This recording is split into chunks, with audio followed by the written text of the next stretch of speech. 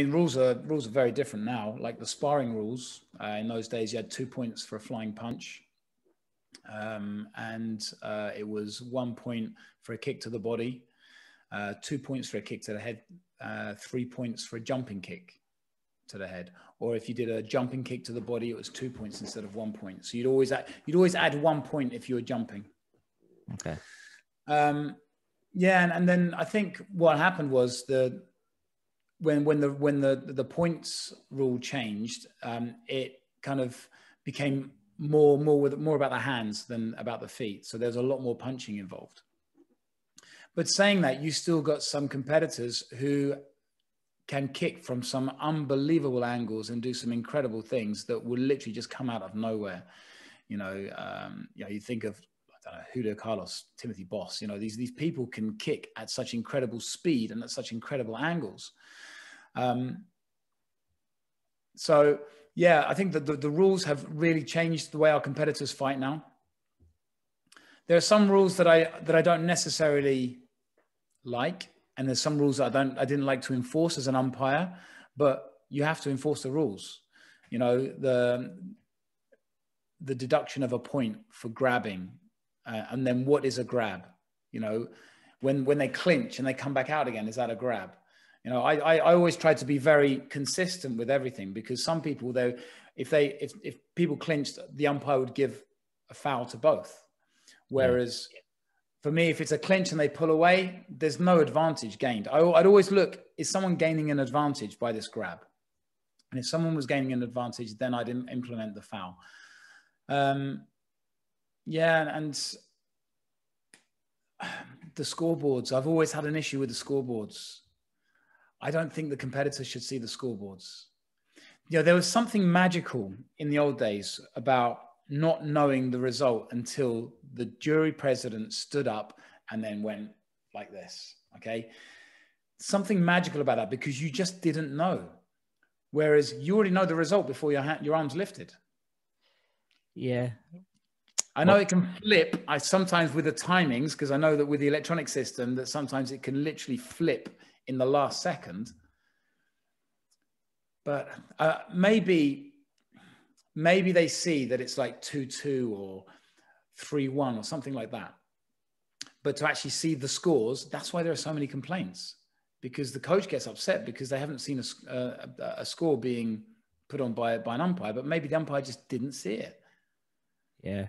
Well, I think definitely uh, from a competitor, I definitely prefer when I spar with the scoreboard. Like if there's if there's times now where there's a competition and there's no scoreboard, like it does affect like how the, the styles and how you how you like in the match what you do. Like knowing the score is a big thing.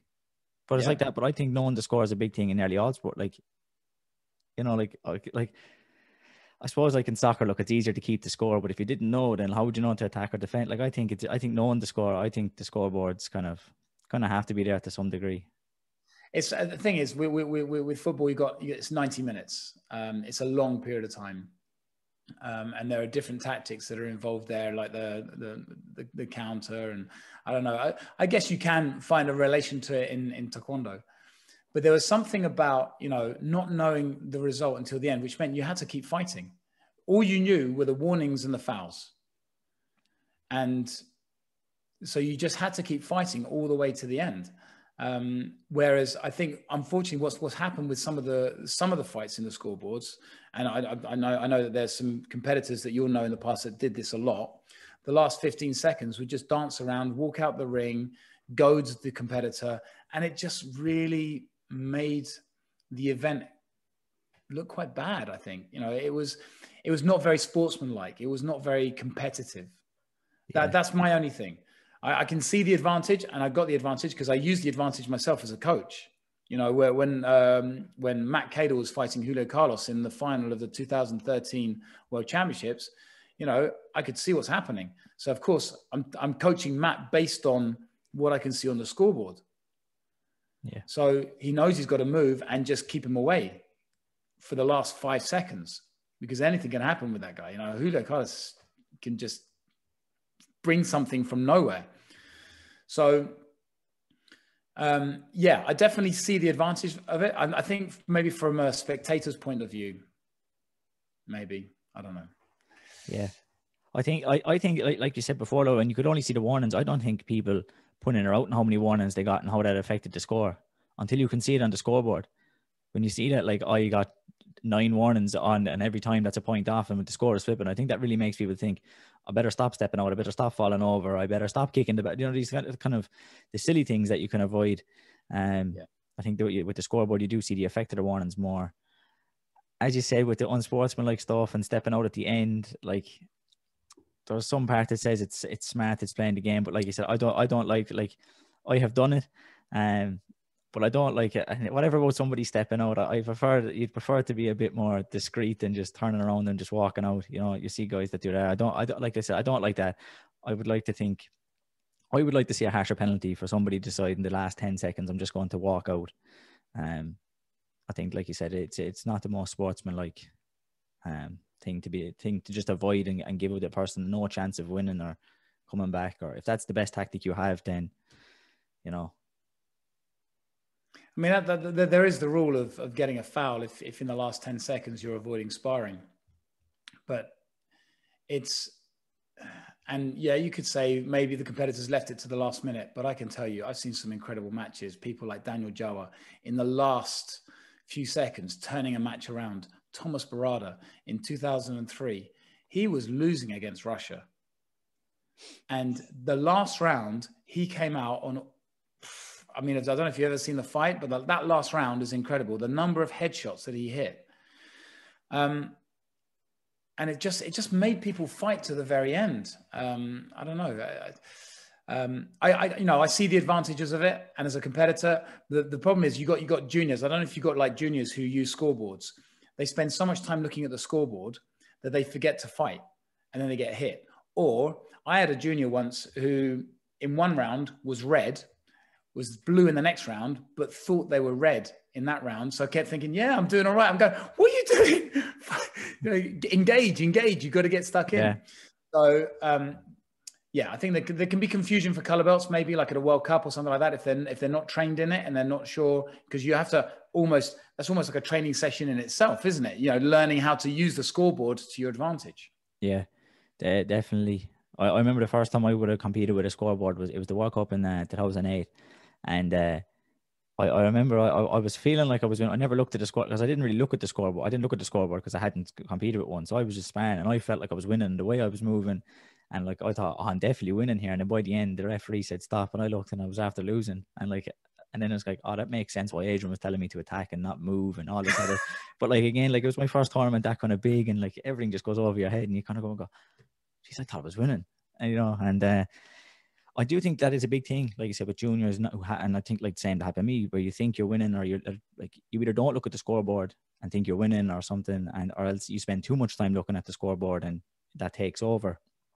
But I think with, with our color belts, and even like on the like the color belt in all tournaments, we nearly every ring now we have the, where they have a scoreboard, a TV screen, and a scoreboard. So like even like under ten yellow belts are competing with scoreboards mostly.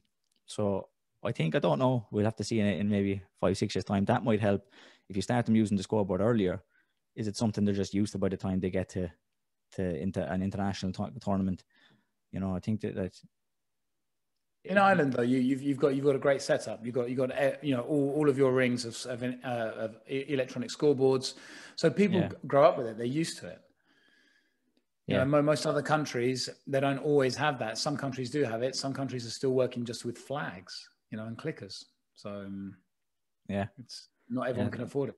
Yeah, like yeah, so I, I'm hoping. I think, and I think it could be an advantage if the scoreboard is something that is going to stay, which I hope it is.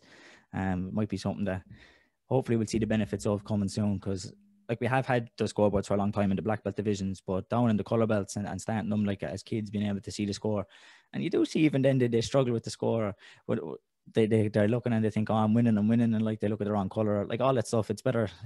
Maybe those mistakes will be made earlier than at a World or European Championships. Yeah, yeah, I think so. I think so. Yeah, I think the holding one though is yeah, like you said, is an interesting one for the foul because because oftentimes it's very much like even the angle of that the referee is at to the competitors because like sometimes you know it depends on how it looks when the hand comes comes over the back it can look like well that guy was holding, but if you saw that from the other side, or sometimes you see it like if the if the, if the camera is at a different angle, you're like, well, why was that warning? That wasn't holding because you're seeing it from a different angle. But when the referee sees it from there, it looks like well that guy was holding. Or it's a it can be a very a grey area one, you know, a very uh, subjective one, which guy was holding, and it, and it can sometimes just be for a split second. Exactly, and and that, that, that's why I always think it's got to be it's got to come down to who's gaining an advantage. Is there an advantage being gained here? Um, I remember uh, when was it now? Two thousand and it would have been. I think it was two thousand and two in the Czech Republic, and it was uh, Daniel Jawa against Zel Galasek, and uh, I think it was 2002. Someone might, yeah, I, I have to kind of have a think. It's either 2002 or 2003. Anyway, so it was a great first round fight. I mean, they were drawn together in the first round, okay, and it was going to be explosive. Um, and so what happened was um, Daniel had this brilliant tactic. He would score, come in with a punch, because Zelk is just the the the the range on his legs was just incredible in his arms. Um, so Daniel would punch him, grab him, pick up a warning. Punch him, grab him, pick up a warning. So he'd be getting one point every time he moved in, or if it was a flying punch, it would be two points. Then he'd pick up a warning. So he'd always be scoring more points than he was. And then, then when he when he got obviously the accumulation of three warnings, he'd be deduct, deducted a point.